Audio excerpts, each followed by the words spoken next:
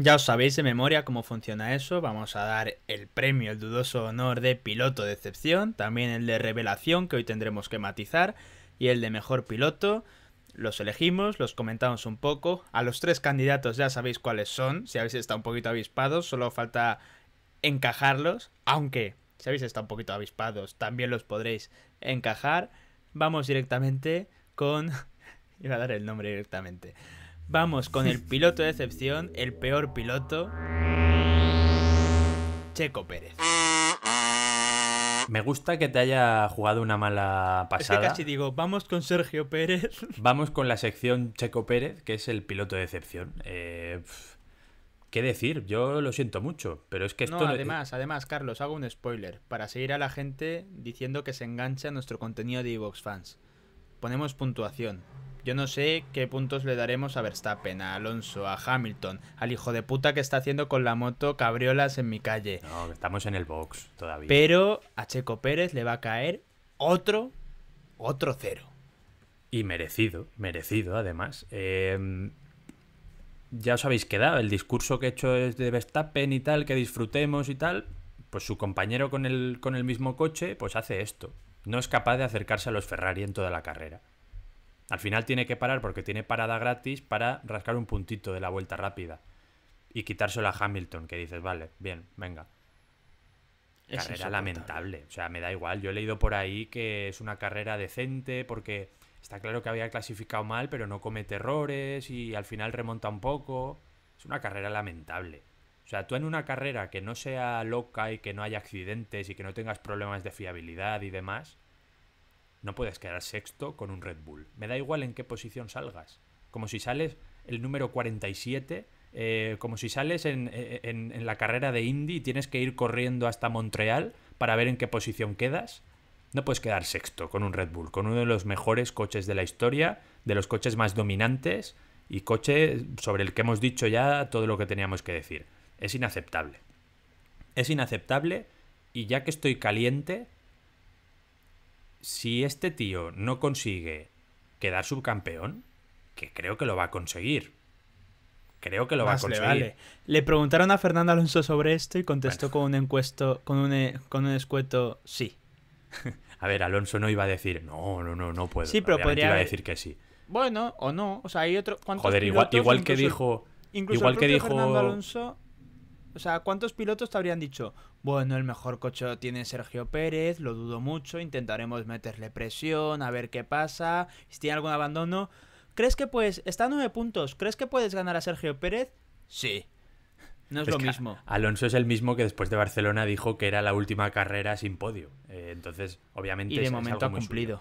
Pero vamos, que, que lo más normal, si la cosa va medio normal, es que Pérez quede subcampeón tranquilamente. Si no lo consigue, hay que bajarlo del coche este mismo año. Y el, año que viene no se puede subir al Red Bull. Esto es así. Yo lo siento mucho. Es que. Y mira, y me sirve casi como, como contrapunto contraparte o como queráis al podcast que le dedicamos a Sergio Pérez. Y hay una de las cosas que le defendíamos, no me voy a extender mucho en esto porque para eso tenéis ese podcast, es que al final, quitando la primera temporada donde pierden constructores, había servido Sergio Pérez para sumar el máximo número de puntos el, el máximo no, el mínimo número de puntos necesarios para llegar al objetivo. Y aquí la comparación fácil sería con Albon. Para mí Albon ya se puede decir que tuvo un rendimiento muy similar al que te está dando Sergio Pérez, teniendo en cuenta con qué coche se encontró cada uno.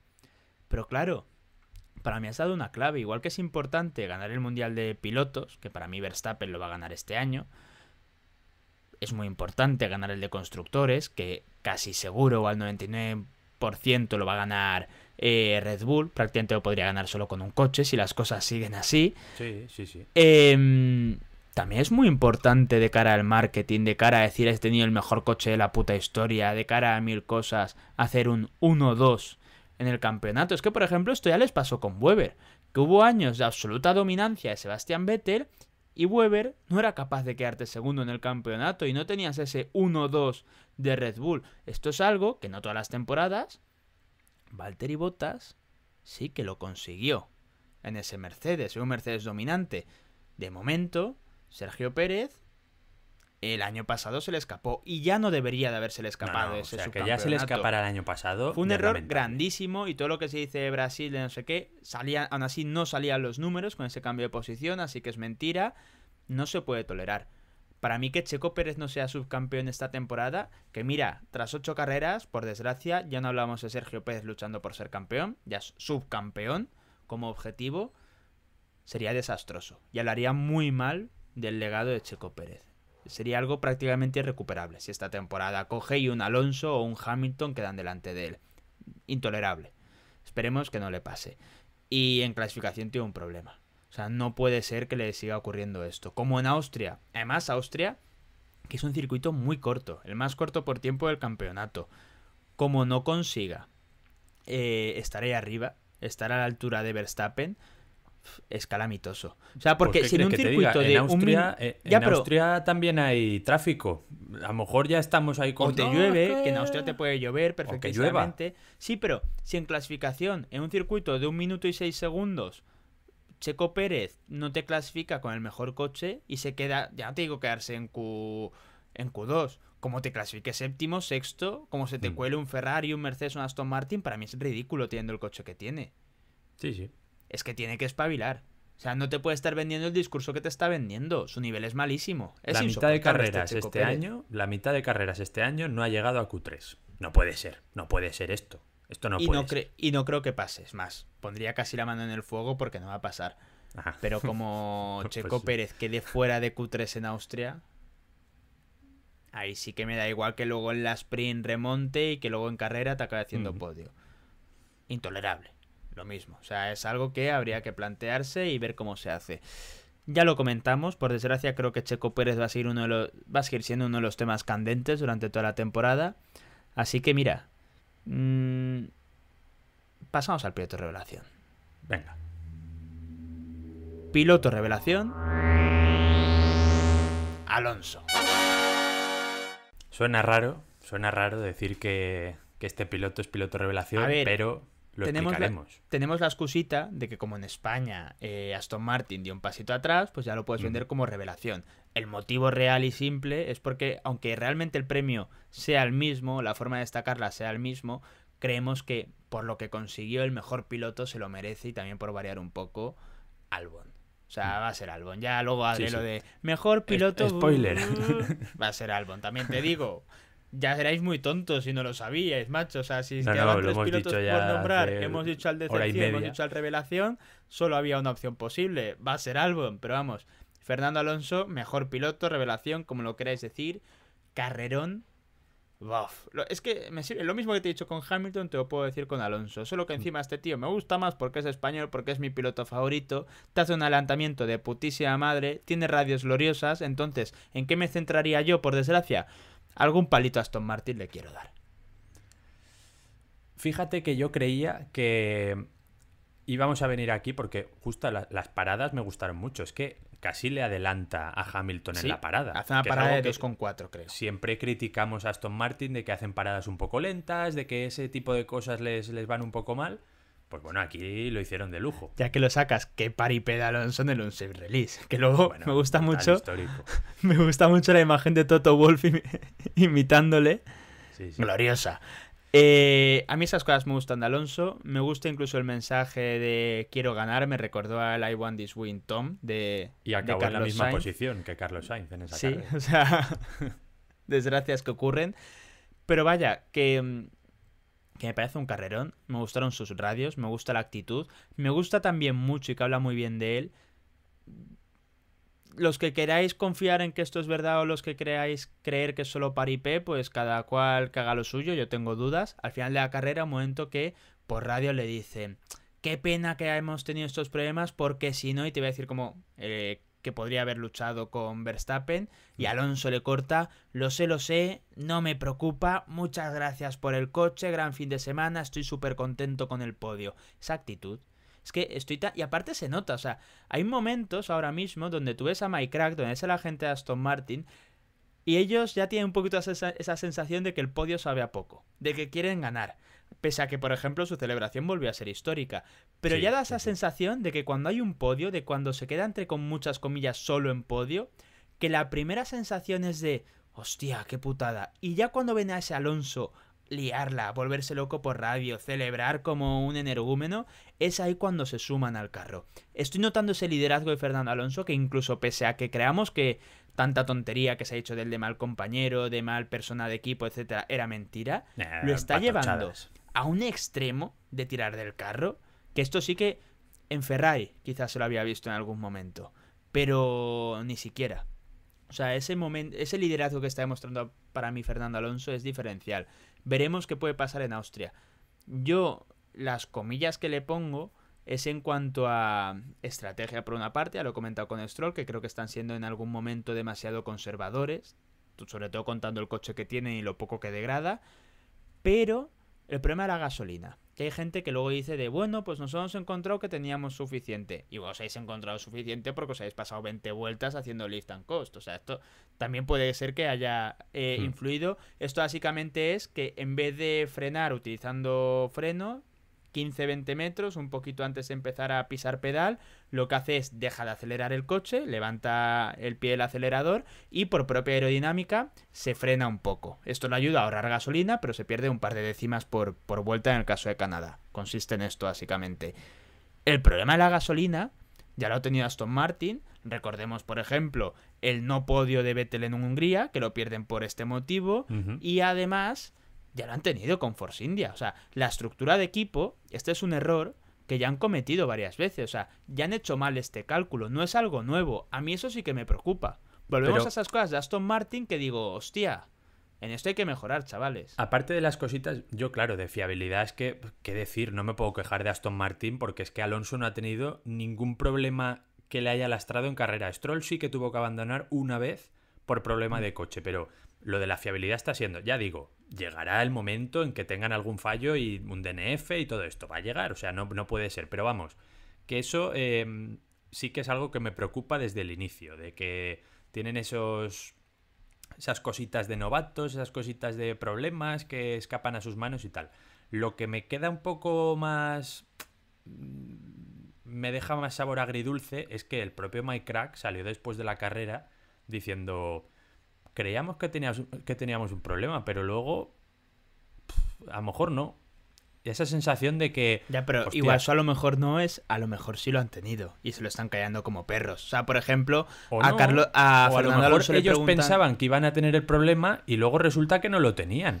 Y igual que era todo fruto de... frenos. O sea, es que y era fruto de la presión que le estaba metiendo Hamilton, por ejemplo, de verse, hostia, tenemos que ir a tope toda la carrera, no sé si el coche va a aguantar, vamos con los frenos ahí un poco tal. Se habló un por radio con Alonso de que el problema podría ser para enfriar frenos y, y demás. Em, claro, te deja esa sensación de, hostia, os habéis visto ahí muy cerca del ritmo de Verstappen, os habéis visto em, a tres segunditos de, hostia, como Verstappen se vaya recto en alguna curva, podemos ganar la carrera. Y os han venido los fantasmas. Y es que pasa, o sea, les temblan las manos eh, en esos casos, les están temblando poco este año para lo que yo creía que les iba a temblar a Aston Martin, viendo que están siempre en zona de podios y tal pero me deja ese sabor agridulce de, joder, todavía falta un pequeño saltito, un pequeño tal.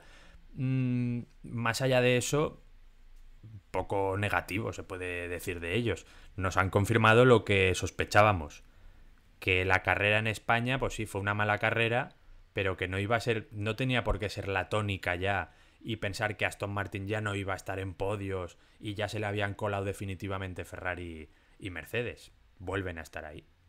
Algo que defendimos nosotros. Pese a que sí que tengo que decir que Mercedes me da mucho miedo y me lo va a dar siempre, siempre. Porque siempre. tenemos el trauma. Tenemos ahí el trauma, entonces esto lo vamos a arrastrar 15, 20 años con el tema de, Mercedes.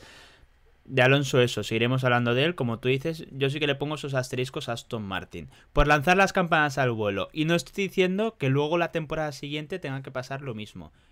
Pero a ti este 2013 de este 2013, ya la ha cagado. Este 2023... es que nos hemos ido 10 años atrás. No, no, no, es que ya la ha cagado porque este 2023 de Aston Martin no te recuerda un poquito al 2013 de Mercedes, sobre todo ese Mercedes después del cambio de neumáticos y estas cosas.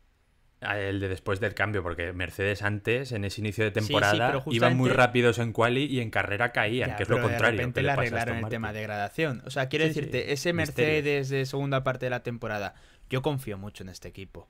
Me ha sorprendido también Toto Wolf casi diciendo que, oye, que igual para Silverstone y tal se ven con opciones de ganar, que en Canadá esperaban ir muy mal y que les iban a destrozar eh, a principio de temporada en este tipo de circuito.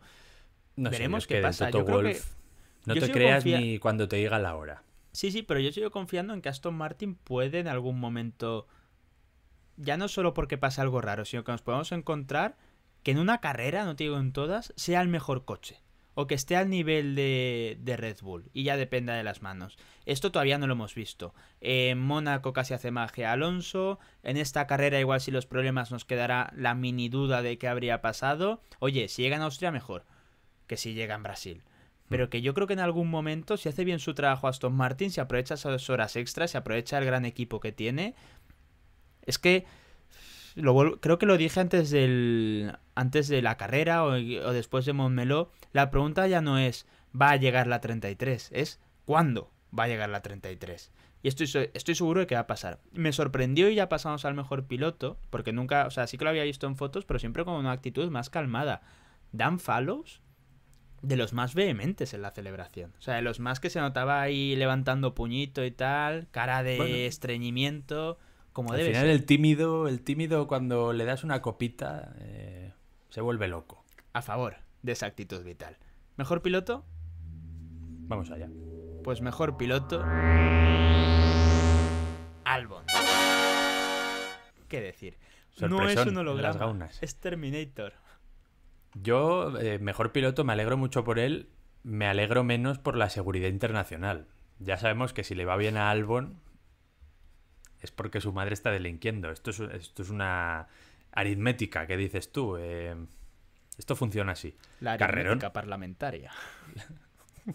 la aritmética parlamentaria. Es que este es un término que se utiliza mucho ahora y me toca la polla. Es estas palabras. Tenía Joaquín Reyes un monólogo de, lujo, Tío. Bueno, depende de quién te la toque, ¿no? La aritmética parlamentaria. Vale. ¿Qué tal está la Ari? ¿Tú te quejarías de que una parlamentaria te tocara la polla? Bueno, da igual, da igual, vamos, va. Depende. si es la defensora hasta del pueblo que había antes, me lo pienso. La es que creo que era. Bueno, no me acuerdo. ¿Para qué faltar? Ya te lo digo off the record quién era. Sí, bueno. Ya has dicho el cargo que ocupaba, con lo cual. Sí, pero habrá habido más de una. Igual solo ha habido una mujer defensora del pueblo. Bueno, pues eso fue la carrera de Alex Albon. Eh, el holograma se puso séptimo y, de ahí no lo movieron. Eh, bueno, yo el mérito que le doy a Albon es que no fue que los de atrás no le cogieran y demás. Ha habido más de una. Ha habido más de ah, una. no, si es que está ahí. Ha habido más de una. Ha habido Aunque la otra tampoco quiero que se acerque a mi pajarito, ¿eh? bueno, pues ya. sí, sí, sí. no, puede, Puedes seguir. Ah, pues eso, que Albon, que no fue una séptima plaza que le cayera del cielo y que pasara algo extraño, que los de atrás fallaran y no le pudieran coger, es que estuvo en luchas, eh, no, no estuvo el solito el primer stint antes del safety car ya mantiene una posición de privilegio. Eh, detrás de, Leclerc, pegadito, sin que Sainz y, Pérez le, pudieran adelantar. Mm, luego, obviamente, es uno de los pilotos que, le viene bien la estrategia o que la gestiona bien. Y estuvo en luchas y al final se amorró a la séptima plaza y de ahí no lo movieron. Me da igual que el Williams fuera el coche más rápido en, la, recta y todo esto. No es la primera vez, en otros circuitos ha sucedido y luego la liaban. Canadá es un circuito con muchísimas curvas lentas. O sea, tenía todas, eh, todas las papeletas para ir cayendo en la, en la tabla como cayeron otros pilotos que estaban fuera de posición. La carrera de Alex Albon es que me parece sobresaliente, me parece de las mejores actuaciones individuales de la temporada y me parece una locura. ¿Por qué te estás riendo? ¿Vas a decir algo de alguna defensora del pueblo? No, no, no, simplemente las, estoy, las estoy buscando. Ah. Y... Pues nada, ¿has oído algo de lo que he dicho? O, sea, sí como de fondo, sí que cosas de álbum con las que supongo que estaré de acuerdo. Supones, ¿no? Supongo, sí, pero está buscando algo. Que no me escuchas, cariño, es que no me escuchas. Hostia, pero ya encontré a la que me refería y... A ver, primero, antes de meterme con ella, voy a comprar... Está viva, me puedo meter con ella. Em, como si eso fuera problema, 9-9. Parece, o sea, luego ya te daré el nombre of the record, pero parece un chunguito disfrazado. De esto cuando estaba en tu cara me suena o alguna cosa de estas. Vale, vale. Seguimos. Dicho este pequeño apunte de Albon, muy de acuerdo con todo lo que has dicho, Carlos. O sea, es un grandísimo piloto. O sea, su- si en algún ¿Qué momento sinvergüenza es? contraria- ¿Qué, qué sinvergüenza es? ¿Qué sinvergüenza es? Bueno, a otro piloto al que le Su gran mérito es la quali, creo yo. O sea, lo Sí. del domingo también, pero la quali es donde de verdad dijis- dijimos, hostia. Otro bestia". piloto al que, al que le mantuvo la, la lucha fue a Russell, que es verdad que Russell tuvo que abandonar por, por haberse toñado varias vueltas Ahí sí que es verdad que igual el coche lo tendría. El coche lo tendría, Russell. el coche tampoco lo tenía tan mal porque remontó desde las últimas posiciones hasta la zona de puntos. Bueno, pero bien, bien. O sea, no, O sea, se tuvo que retirar por, por problema de frenos, está Le claro, pero que no claro, o había sea, perdido tanto ritmo. Sí, pero yo le pongo más mérito a lo que hizo con el resto de pilotos, pese a tener un Sí, peor también, coche, también. que a lo que hizo con Russell. En todo caso, es un puto carrerón de, de Albon. Va a tener una nota gloriosa. Le dedicaremos tiempo a las puntuaciones porque ya no es. Es un holograma, sí, pero se vuelve a demostrar que cuando este tío tiene un coche para hacer algo, lo hace. Y una puntilla final, claro, habíamos estado hablando de Hulkenberg, pero Puntilla, yo soy más. ¿Tú eres más de puntilla? lo sabía, es que sabía que al decir puntilla Como los niños. tontos. ibas a preguntar, ¿Seguro lo llamas chopitos o puntilla? Ah, no, ¿Tú no, prefieres no. la sepia o los calamares? Yo O le sea, llamo sabía que ibas a salir con algo de eso. Es que eres tonto perdido, pero tonto, tonto, tonto. es que lo sabía, macho. Últimamente es que te leo no la sé qué te pasa, o si estás un poco cansado ya de mí, pero me haces más bullying. O sea, es que llevamos dos horas de podcast y aquí. ¿Te gusta la puntilla? Eres más de bu- eres más de puntilla de calamares a la romana. Yo tengo una opinión muy clara. Yo O sea, soy de puntilla hasta la muerte. Yo creo que la puntilla es muy difícil que esté mala, pero un buen calamar a la... Los calamares a la romana, cuando están bien bien hechos, son insuperables. Eso sí, normalmente están fatal. Yo soy de puntilla, siempre. en la Lo que me encanta, o sea, el, lo que lo supera todo al calamar en general es la sepia. No. Una sepia a la plancha... A ver, a mí me encanta, ¿eh? Pero donde se ponga la puntillita. O los que chopitos aparte- que decís por Cádiz o no sé qué, por Hace poco comí eso. Para mí lo mejor que se puede comer es así unas clochinas o unos mejillones, un poquito de sepia a la plancha y unas gambitas y con eso se come. El otro día me insultaban mucho eh, varias personas por mi bocadillo de pulmón. Yo no lo veo algo tan raro. Ya, pero aquí la gente es muy delicadita para comer. Pues os recomiendo otro bocata que podéis almorzar en Valencia cuando vengáis. Bocata de puntilla con cebollita caramelizada y alioli. Bueno, bueno, eso es una locura. Os lo recomiendo. ¿Tú chupas la cabeza de las gambas? Sí, A mí me da... O sea, yo es yo estas la cosas... chupo, yo la chupo. Y la cabeza de las gambas también. A mí es de estas cosas que tengo que admitirte que... Y aparte llevan toda la mierda ahí. O sea, a mí me da asco. A ver, sube el ácido, no sube el ácido úrico. O sea, en no- general eso pasa con el marisco, ¿eh? O Sí, sea, pero me refiero que si te comes 10 gambas y chupas las 10 cabezas una tras otra y... Pues eso no es lo ideal. Que tampoco comes gambas todos los días, imagino. Pues si no, invítame a tu casa. Pero No, vamos, no, que... no, no, no, no como, pero es que hace poco me acuerdo de lo que sí que me podría comer kilos y kilos es de es de clochinas o de mejillones, porque esos son como como Importante pipas. que saques esto. Vamos a confrontarnos con los gallegos y ya eh, seguimos con, O sea, con sí. la Fórmula 1 y acabamos. Bueno, no seguimos, el- haremos una conclusión, pero el grueso del podcast ha acabado ya, por si No, nos pero es que yo- yo quería decir- pescado. Quería decir una última cosa, pero vamos. Que, Sí, pero mm, las conclusiones quedan, pero el grueso ya, si os queréis ir, estáis en vuestro Que lo, que lo que tiene fama es el mejillón. Y en Galicia el mejillón, no sé qué, no sé qué, es más grande, más lustroso, más bonito. Pero donde se ponga una clochina, Mira, que se aparte, que se aparten todos. Yo aquí me destapo, yo no te sé diferenciar una clochina de un mejillón. O sea, yo como los niños tontos, yo cuando, Bueno, nada, da igual, da igual. si es- yo cuando ya, cuando ya iba con el plato hondo donde tú vas dejando las cáscaras, ya te has comido medio kilo y has tenido que ir a tirarlas, llega Hostia, mi es señora que- madre o mi señor padre y le digo, qué ricas están, mamá. Y me dice, claro, es que es clochina, que es más pequeñita pero más sabrosa, o al revés, no lo sé. Es que no sé es cómo así, va, es así. es así, lo he dicho bien, ¿no? Pero Sí. yo no lo sé, yo, me- yo como un niño tonto, yo Hostia, como, pero esto es como, como está si rico, esto es como claca, si no claca. diferencias, esto es como si no diferencias el solomillo de el filetaco que te venden por ahí por Mercadona. No, No, a mí me, es que me gusta la carne. O sea, eh, has quedado de, bueno, da igual. Pero vamos, De que paleto, mucha gente, o sea, mucha yo gente le gustan más los eh, mejillones. Ahí tiene que haber de todo, yo qué sé. Yo no sé, yo me lo, lo que no me gusta, o sea, no es que no me guste, lo que lo veo que no me... No es... uf, indiferencia son las tellinas. O sea, me las como muy a gusto, pero... Pues estas también son muy adictivas. Son las pipas del- sí, del totalmente, pero... ah, no sé, me saben a poco. Se me queda... ah, me da más igual. ¿Y cigala o gamba? ¿Tú qué prefieres? Hombre, una cigalita. Lo que pasa es que son más caras. Bastante más Sí. caras. Pero bueno, eh, a ver, ¿y cómo te gusta la gamba? Me o sea, a mí me gusta que esté muy hecha. Esto que ya ennegrece un poquito, que se nota bien doradita. eh, uf. Pues así está seca y pierde el sabor. A mí No, me gusta pero, que hombre. esté jugosa por dentro. A mí es que Es más, a mí me pasa también con las cruda carnes. El sashimi de gamba me flipa.